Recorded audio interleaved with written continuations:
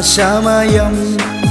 నీ హృదిలో క్రీస్తు ప్రేమ స్వరం నిరీక్షణ సమయం. ఇది సమాధాన సమయం. ప్రైజ్ ద లాడ్ హ్యాలూయ ప్రభైనటువంటి యేసుక్రీస్తు నామంలో మిమ్మల్ని అందరినీ మరి ఒకసారి నిరీక్షణ సమయం కార్యక్రమానికి ప్రేమతో ఆహ్వానిస్తున్నానండి. అంతా సంతోషంగా సమాధానంగా ఉన్నారా? జీవితంలో చికాకులు సమస్యలతో బాధపడుతున్నప్పుడు మనం చేయవలసినటువంటి అత్యవసరమైన పని ఏంటంటే మీరు నాకు మొరపెట్టండి నేను నీకు ఉత్తరం ఇస్తాను అన్నటువంటి దేవునికి ప్రార్థన చేయటం. ఒకసారి డిఎల్ మూడి అనేటువంటి భక్తుడు ఒక ట్రైన్లో ప్రయాణం చేస్తూ ఉన్న సమయంలో సడన్గా ట్రైన్ ఆగిపోయిందట. అందరూ కూడాను ప్రయాణాలు ముందుకు వెళ్ళవలసినటువంటి వారు ఒక్కసారి దిగాలు పడిపోయి కూర్చున్నారట. ఎంతసేపు ట్రై చేసినా సరే ఇంజిన్ స్టార్ట్ కావట్లేదట. ఆ సమయంలో డిఎల్ మూడి అనేటువంటి భక్తుడు ఒక చిన్న ప్రార్థన చేశాడట. ప్రవ్వా నేను నీ పరిచయ నిమిత్తమై వెళ్తున్నాను. నాతో ఉన్న తోటి ప్రయాణికులు కూడా గమ్యస్థానం చేరాలి కనుక వెంటనే ఇంజిన్లో ఉన్న సమస్య తీసివేసి అది స్టార్ట్ అయ్యేటట్లుగా సహాయం చేయ ప్రభానని ఒక చిన్న ప్రార్థన చేశాడట. వెంటనే ఆ డ్రైవర్ దగ్గరికి వెళ్ళి స్టార్ట్ చేయమన్నాడంట. ఎప్పుడైతే ఇంజిన్ బటన్ నొక్కాడో ట్రైన్ స్టార్ట్ అయింది. తాను వెళ్ళవలసినటువంటి ప్రార్థనా కూడికకు సమయానికి వెళ్ళి ఆ కార్యక్రమంలో పాల్గొన్నాడట. అదే సమయంలో ఒక్క డిఎల్ మూడి భక్తుడు ఆ ట్రైన్లో ఉండటం వలన ప్రయాణికులు అందరూ కూడాను వారి గమ్యస్థానాలకు చక్కగా చేరుకున్నారు.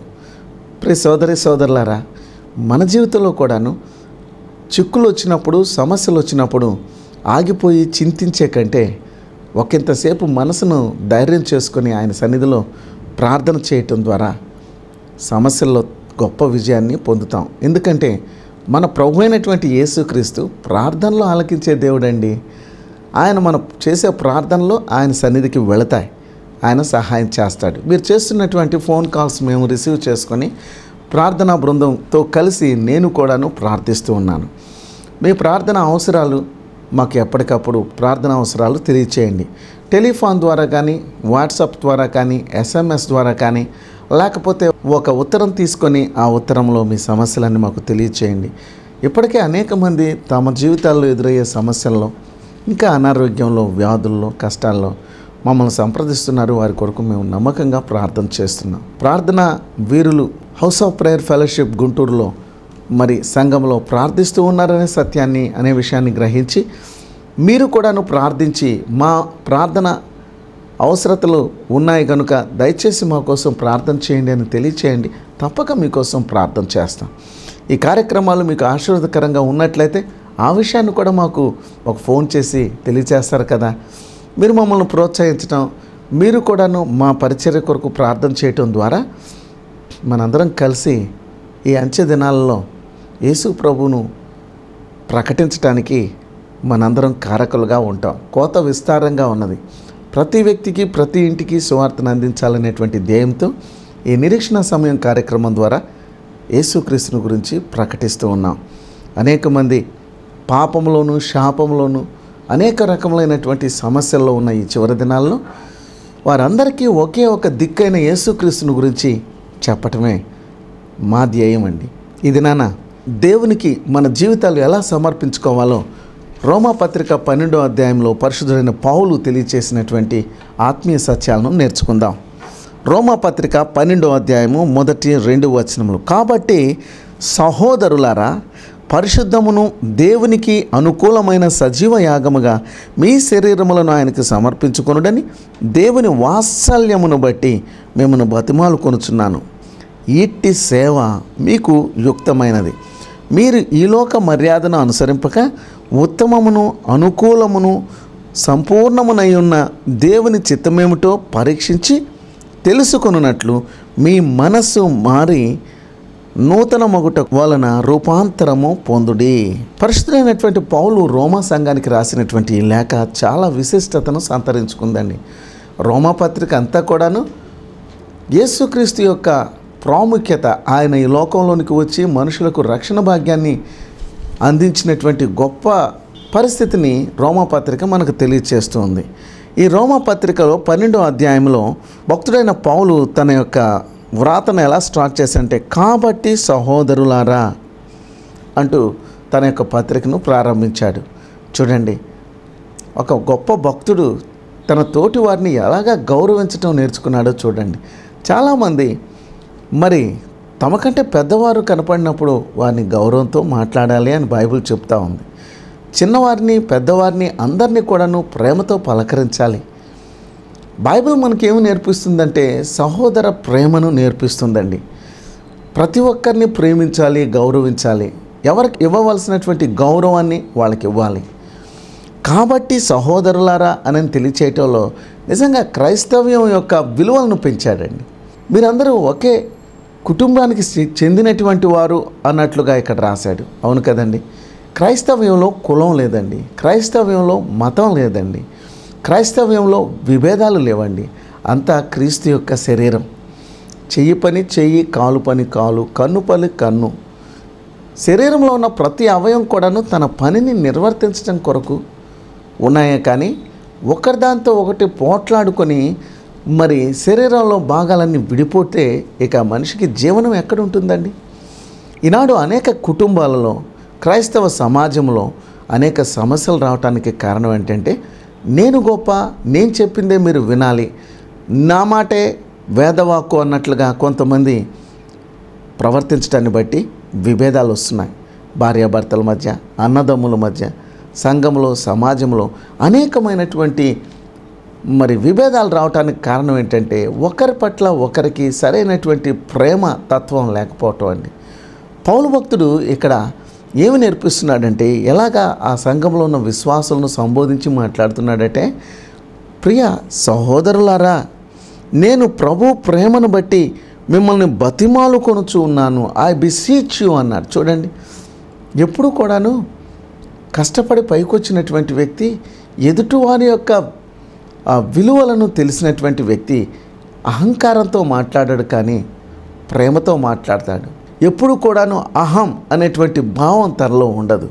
నేను అనేటువంటి గొప్పతనం ఉండదు కానీ నేను అందరిలాంటి వాడినే అందరిలో ఒక వ్యక్తినే అనుకుంటాడే కానీ తనకున్నటువంటి ఈ లోక సంబంధమైనటువంటి ప్రివిలేజెస్ని బట్టి ఎవరు కూడాను గర్వించరండి. బ్రతిమలాడుకోవటం అంటే అర్థం ఏంటంటే ఒక మంచి పని చేయటం కొరకు వారందరినీ కూడాను ఒక త్రాటి మీదకి తీసుకుని వస్తున్నాడు. ఈ సందేశాన్ని ఆలకిస్తున్న సోదరి సోదరులారా దేవుని యొక్క వాక్యమైన బైబిల్ ఏం చెప్తుందంటే సహోదరుల ఐక్యత కలిగి ఉండుట ఎంత మేలు ఎంత మనోహరము. ఈ కుటుంబంలో అందరూ కలిసి ఐక్యంగా ఉంటున్నారా? మీ సమాజంలో అందరితో సఖ్యతగా ఉంటున్నారా? మృదువైన మాట తీరు ఉన్నదా? ఎదుటివారిని గాయపరిచేటువంటి మాటలు మాట్లాడకుండా సౌమ్యంగా మాట్లాడగలుగుతున్నారా? అవునండి మనం ఒక కత్తెరలాగా ఉండకూడదు. కత్తెర ఏం చేస్తుందంటే అది ఎప్పుడు కూడాను విభజిస్తుంది ఒకరిని ఒకరిని వేరు చేస్తుంది. కత్తెరలాగా ఉండకూడదు. మనం సూదిలాగా ఉండాలి అన్నాడు ఒక వ్యక్తి. సూది ఏం చేస్తుందంటే జోడిస్తుంది. తెగిపోయినటువంటి వాటిని రెండింటిని కలుపుతుంది. మనం అందరినీ కలుపుకొని సమాజంలో కుటుంబంలో ఆ దేవుని ప్రేమతో ముందుకు సాగాలి. బ్రతిమలాడుతున్నాడు. ఎందుకు బ్రతిమలాడుతున్నాడు?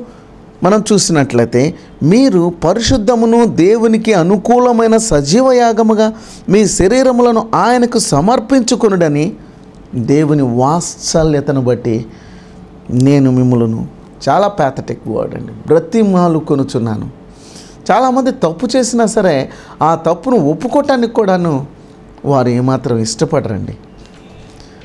ఒక వ్యక్తి తన తప్పును ధైర్యంగా ఒప్పుకోగలిగినప్పుడు ఆ వ్యక్తికి ఎంత విలువ పెరుగుతుందో చెప్పలేం. అవునా కాదా? ఒక వ్యక్తి ఎదుటి వ్యక్తి తనకు ఎంత కీడు చేసినా ఆ వ్యక్తిని ప్రేమతో క్షమించగలిగినప్పుడు ఎదుటి వ్యక్తి ఈ వ్యక్తికి ఇచ్చే విలువ ఎంత గొప్పదో తెలుసండి? ఎప్పుడు కూడాను మృదువైనటువంటి మాట తీరుతోటే ఒక వ్యక్తి ఈ లోకాన్ని జయించగలడు. అందరినీ తనకు స్నేహితులుగా సంపాదించుకోగలడు. ఎంత బతిమలాడుతున్నానంటే మీరందరూ కూడాను మీ యొక్క జీవితాలను ఆ మహా గొప్ప దేవునికి సమర్పించుకోండి అని అని దేవుని యొక్క ప్రేమతో బ్రతిమలాడుతున్నాడు ఎలా సమర్పించుకోవాలట? క్రైస్తవ జీవితం అంటే సమర్పణ జీవితం త్యాగంతో కూడిన జీవితం. దేవుణ్ణి ప్రేమిస్తున్నామని చెబుతూ ఈ లోకంలో మానవుల పట్ల అసభ్యంగా ప్రవర్తించడం కాదు అనేటువంటి సత్యం బైబిల్ చెప్తా ఉంది. ఎదుటివారిని సంతోషపెట్టేటువంటి జీవితం తోటి వారికి కీడు చేయకుండా మేలు చేసేటువంటి జీవితమే యేసుక్రీస్తు ప్రభు ప్రసాదించేటువంటి జీవితం. అందుకనే పౌలు భక్తుడు ఏమంటున్నాడంటే సజీవ యాగముగా మిమ్మల్ని మీరు సమర్పించుకోనండి యాజ్ ఎ లివింగ్ సాక్రిఫైస్. దేవునికి మన జీవితాలను ఒక సజీవ యాగంగా సమర్పించుకోవాలంట. నిజమైనటువంటి క్రైస్తవ జీవితం ఏంటంటే పరిశుద్ధాత్మను పొందుకొని ఈ లోకంలో పవిత్రంగా జీవించేటువంటి జీవితం. సంపూర్ణంగా దేవునికి లోబడేటువంటి జీవితమే. ఆత్మీయంగా బ్రతకటం. ఆత్మ సంబంధమైనటువంటి విలువలను పెంచే దేవుని యొక్క వాక్యమునకు విలువ ఇవ్వటం. దేవునితో దైవిక సహవాసమును కలిగి జీవించడం ఇది ఒక వ్యక్తి ఆత్మను సజీవంగా ఉంచేటువంటి స్థితి.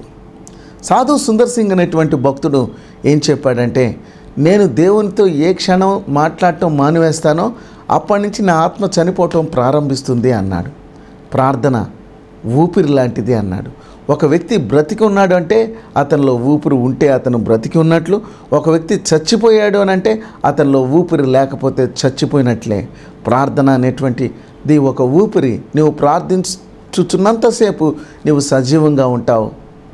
దేవునిలో. నువ్వు ప్రార్థన మానివేసినప్పుడు నువ్వు చనిపోతావు. బైబిల్ మరొక సత్యాన్ని తెలియచేస్తుందండి. అదేంటంటే ప్రార్థన చేయకపోవటం పాపము అనని సమూహలు భక్తుడు చెప్తాడు ఇస్రాయేల్ ప్రజలతో.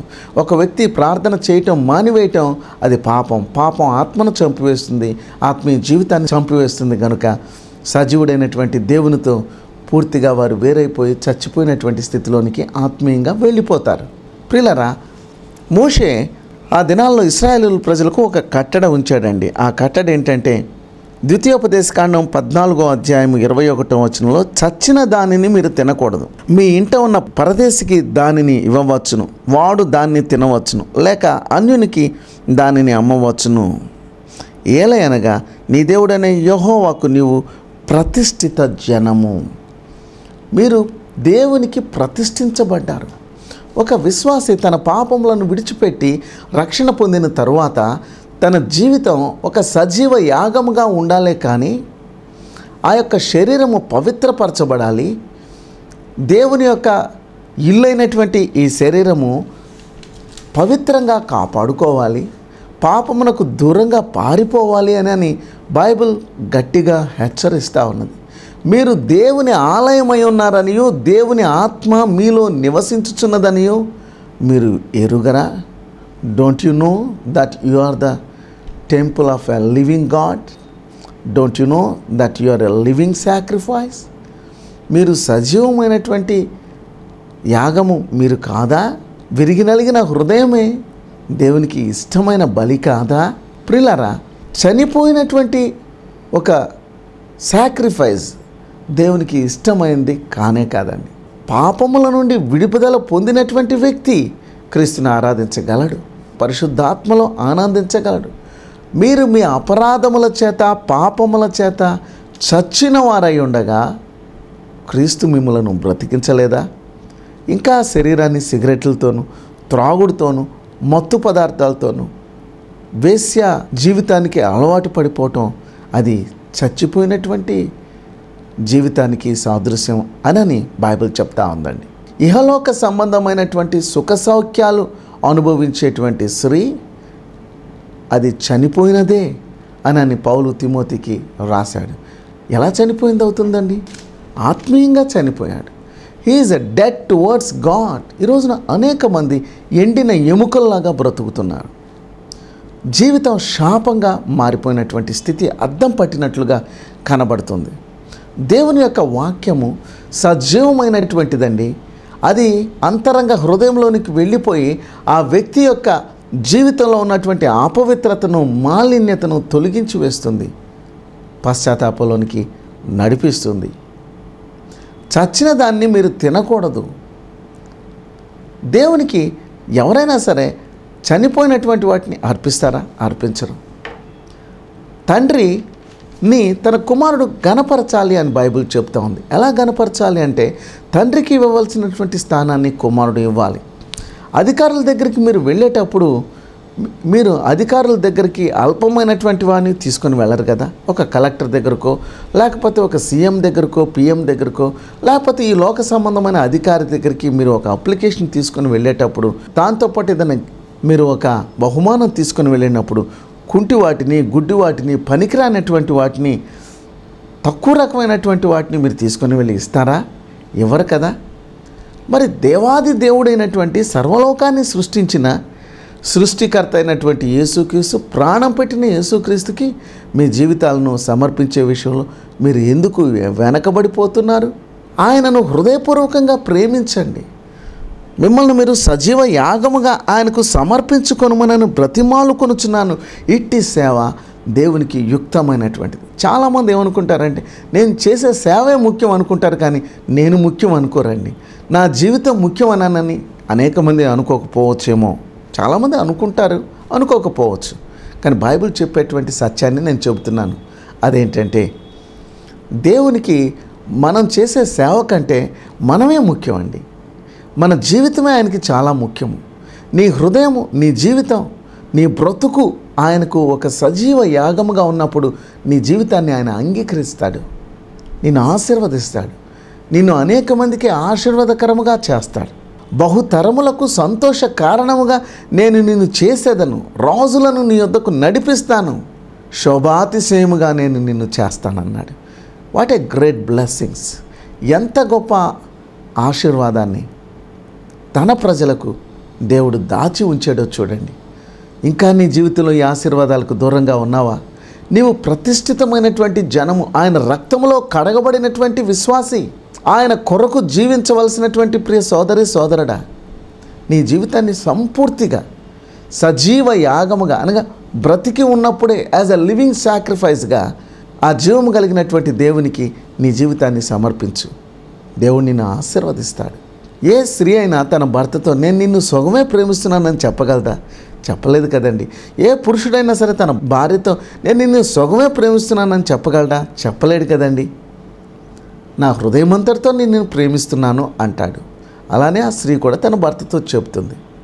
క్రిస్టియానిటీ కూడాను క్రీస్తును ప్రేమించేటువంటి వారు కూడా ఆయన కొరకు సంపూర్ణంగా ఆయన ప్రేమించేవారిగా ఉండాలి. ఇంగ్లీష్లో ఒక సామెత ఉంది ఆల్ ఆర్ నన్ ఫినామినా అదేంటంటే ఇస్తే పూర్తిగా ఆయనకి ఇవ్వు లేకపోతే ఆయనకి ఏమి ఇవ్వవలసినటువంటి అవసరత లేనే లేదు.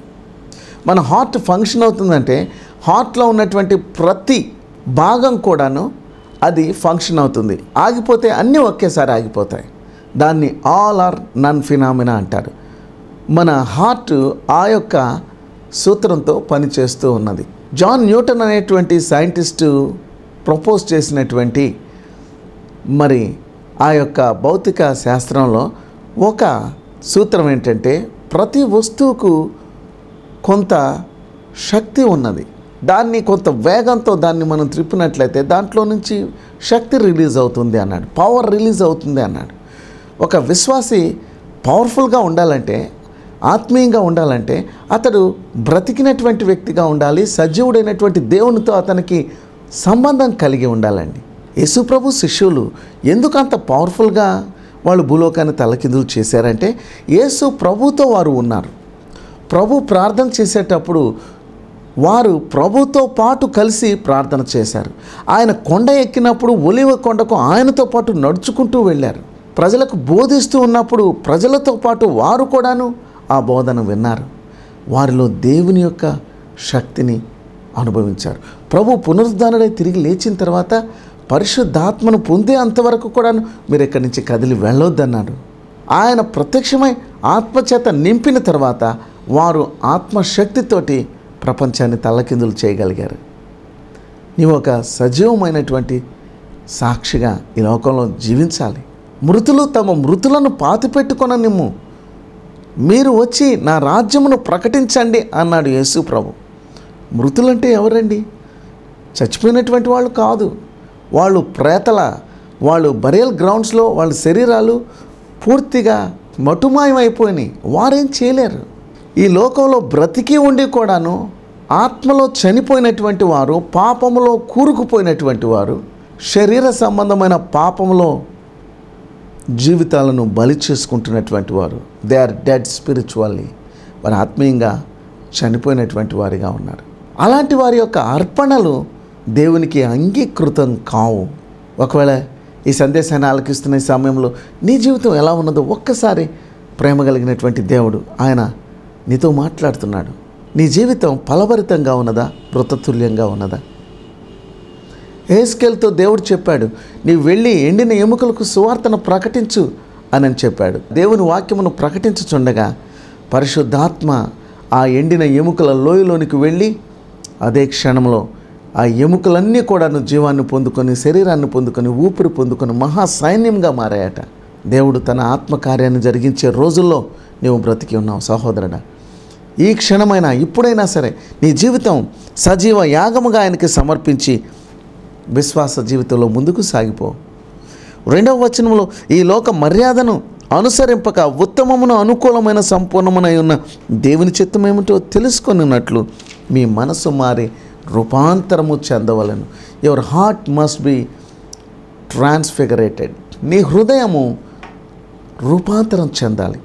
మారు మనసు లేకపోతే ఒక వ్యక్తి క్రీస్తులో ఎలాగా ఉండాలి రక్షణ పొందిన తర్వాత అనే విషయాలను ఇక్కడ పౌలు చెబుతున్నాడు అదేంటంటే యేసు ప్రభువారు తన శిష్యులను తీసుకొని కొండ మీదకి ఎక్కినప్పుడు ఆయన రూపాంతరం చెందాడు.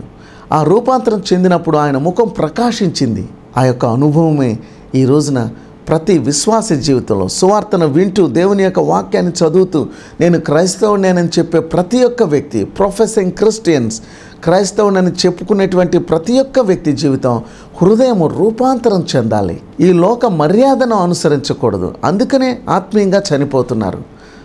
What is the reason they are deading they are dying in spirit is because they are loving this world ఈ లోకమును ప్రేమించుతున్నారు కనుకనే వారు ఆత్మీయంగా చనిపోతున్నారు. వారి ప్రార్థనలు ప్రభు సన్నిధికి చేరటం లేదు. లోకాన్ని కాదండి వాక్యాన్ని అనుసరించాలి ప్రభును వెంబడించాలి. ప్రియ సోదరి సోదరుడా ఒకవేళ అలాంటి స్థితిలో నీ జీవితం ఉన్నట్లయితే మరలా తిరిగి ప్రభు దగ్గరకు వచ్చి ప్రభా నీ పరిశుద్ధాత్మతో మరలా నన్ను దర్శించి బలపరిచి లేవనెత్తండి. నాకు ఒక నూతన హృదయాన్ని దయచేయండి. నూతన జీవితాన్ని నాకు దయచే ప్రభా. నేను తిరిగి నీ బిడ్డగా ఈ లోకంలో జీవించేటట్లుగా చాలిన నీ కృపను నాకు దయచేయండి అని నేను ప్రభు సన్నిధిలో ప్రార్థన చేయండి. ఒకసారి ఒక రాజు శత్రువులు దృష్టిలో ఓడిపోయి పరిగెత్తుకుంటూ వచ్చి ఒక పాత ఇంట్లో ఉన్నాడట. ఆ ఇంట్లో ఉన్నప్పుడు అతనికి సిగ్గు కలుగు చేయటానికి ఒక దృశ్యం అతని ముందు కనపడింది. అదేంటంటే ఒక చీమ అనేక సార్లు ఆ గోడ మీద ఎక్కి పడిపోతూ ఉంది ఎక్కుతుంది పడిపోతూ ఉంది. ప్రాణభయంతో పారిపోయి వచ్చినటువంటి ఆ రాజు ఆ చీమ అనేక ప్రయత్నాలు చేస్తూ ఉంటే అలా చూస్తూ ఉన్నాడు. ఆ చీమ ద్వారా ఒక పాఠాన్ని నేర్చుకున్నాడండి. అదేంటంటే ఆ చీమ ఎక్కుతూ పడిపోతూ ఉంది. కానీ ఒకసారి ఆ చీమ పట్టుదలతో మరలా లేచి ప్రయాణమై వెళుతూ ఉంది. ఆ గోడ మీద ఎక్కి పైకి అలానే వెళ్ళిపోతూ ఉన్నది కానీ పడిపోలేదు. తన పట్టును సాధించింది. పట్టుదల విడవక సాగిపోవాలి అని అనుకున్నాడు. దాంతో స్ఫూర్తి నుండి తిరిగి యుద్ధంలోనికి వెళ్ళి విజయము వీర స్వర్గము అంటూ వెళ్ళిపోయాడు విజయాన్ని పొందాడు. ఈ సందేశాన్ని ఆలకిస్తున్నటువంటి ప్రియ సోదరి సోదరులారా నీవు కూడాను ఆత్మీయంగా దిగజారిపోతున్నటువంటి పరిస్థితిలో ఉన్నట్లయితే మరలా తిరిగి ఆయన సన్నిధిలోనికి వచ్చి ప్రార్థన చేయి. ప్రభు తన పరిశుద్ధాత్మతో నిన్ను నింపి ఆత్మీయ బలమును ప్రసాదించి నీ విశ్వాస యాత్రలో గమ్యం చేరుకునేంత వరకు ప్రభు నీకు సహాయం చేస్తాడు. చిన్న ప్రార్థన చేస్తాను. మహాపరిశుద్ధుడా ప్రేమ కలిగిన తండ్రి సజీవ యాగముగా మా జీవితాలు ఎలా ఉండాలో నీ వాక్యం ద్వారా మాట్లాడావు. ఎంతోమంది ఈ కార్యక్రమాన్ని వీక్షిస్తున్నారయ్యా. ప్రభా నీతో ఉన్న సంబంధాలు తెగిపోయి ప్రార్థన జీవితాలు కోల్పోతూ ఈ లోకం వైపు పరిగెత్తేటువంటి పరిస్థితిలో సైతాను తన యొక్క వికట మందహాసంతో ప్రజలను ఆకర్షిస్తున్న ఈ చివరి రోజుల్లో సిలువలో వేలాడుచున్న ఏసయ నీ ముఖాన్ని చూసి నీ బిడ్డలందరూ ఈ కార్యక్రమాన్ని వీక్షిస్తున్న సోదరి సోదరులందరూ ఆత్మీయ బలంతో ముందుకు సాగిపోవటానికి కావలసిన పరిశుద్ధాత్మ బలమును దయచేయండి. మనసును రూపాంతరం పొందినట్లుగా నీ వాక్యమును అనుగ్రహించావు. ఈ వాక్యానికి ప్రతి బిడ్డ విధేయత చూపించి తిరిగి నీతో మంచి సంబంధాన్ని ఏర్పరచుకొని పరలోకంలో చేరేటువంటి క్రైస్తవులుగా విశ్వాసులుగా ఈ బిడ్డలందరినీ దీవించమని అపవాదిని ఎదిరించే ప్రార్థన యోధులుగా నీ వాక్యమునకు లోబడేవారిగా అపవాదిని ఎదిరించేవారిగా ఈ లోకంలో నీ కొరకు సాక్షులుగా జీవించే భాగ్యం దయచేయండి. ఈ ప్రజలందరినీ దీవించమని యేసుక్రీస్తు వారి శ్రేష్ఠ నామంలో స్తుతించి ప్రార్థిస్తున్నాను తండ్రి. ఆమె ఆమె వాక్యానికి విధేయత చూపెడితే దేవుడు ఆశీర్వదిస్తాడండి. ప్రార్థన చేసుకుంటే ఆత్మీయంగా మీరు అభివృద్ధి చెందుతారు. అట్టి కృపను దేవుడు మీకు అనుగ్రహించును గాక. ప్రతిదినం ఇదే సమయానికి ఇదే ఛానల్లో ప్రసారం అవుతున్నటువంటి నిరీక్షణ సమయం కార్యక్రమాలను మీరు శ్రద్ధగా ఆలకించండి. ఈ కార్యక్రమాలను ఆలకించిన తర్వాత దేవుని సన్నిధిలో ప్రార్థన చేయండి. విన్న వాక్యాన్ని నెమరవేయండి. మీరు ఆత్మీయంగా ఫలిస్తారు. జయించేవారిగా ఆశీర్వదించబడేటువంటి విశ్వాసులుగా ఉంటారు. అట్టి కృపను దేవుడు మీకు నిండుగా అనుగ్రహించునుగాక గాడ్ బ్లెస్ నిరీక్షణ సమయం టీవీ కార్యక్రమాలను క్రమం తప్పకుండా వీక్షిస్తున్న సోదరి సోదరులందరికీ ఏసునామంలో శుభములు. మీరు మీ ప్రార్థన అవసరాలు నాకు ఎప్పటికప్పుడు తెలియజేయవచ్చండి. ఈ స్క్రీన్ మీద కనపడుతున్నటువంటి నంబర్లో మీరు డైరెక్ట్గా నాతో మాట్లాడవచ్చు. మీ ప్రార్థన వినపాలు తెలియచేయండి నేను తప్పక ప్రార్థిస్తాను. అదేవిధంగా వాట్సాప్ ద్వారా కూడాను మీ యొక్క ప్రార్థన వినపాలు నాకు తెలియచేయండి తప్పక ప్రార్థిస్తాను. టీవీ వర్తమానాలు మీకు ఆశీర్వాదకరంగా ఉన్నాయి కనుక మరలా మరలా వీటిని మీరు వీక్షించాలి అనుకున్నట్లయితే సాల్మన్ ఇవాంజలికల్ మిషన్ ద్వారా యూట్యూబ్ ఛానల్లో మీరు తప్పక వీక్షించవచ్చు. దైవాశిస్సులు పొందండి. మా address house of prayer fellowship church Nehru Nagar ఏడవ లైన్ గుంటూరు. మా cell phone number nine three nine four seven eight double two three seven. అలాగే zero eight six three double two double one nine eight zero. మరియు మా ఉదయకాలపు ఆరాధన RTC కాలనీలోని house of pray fellowship church నందు ఎనిమిది గంటల నుండి పది గంటల వరకు జరుగును. అడ్రస్ ఆర్టీసీ కాలనీ ఒకటో లైన్ గుంటూరు మా phone number nine three nine four seven eight double two three seven అందరూ ఆహ్వానితులే.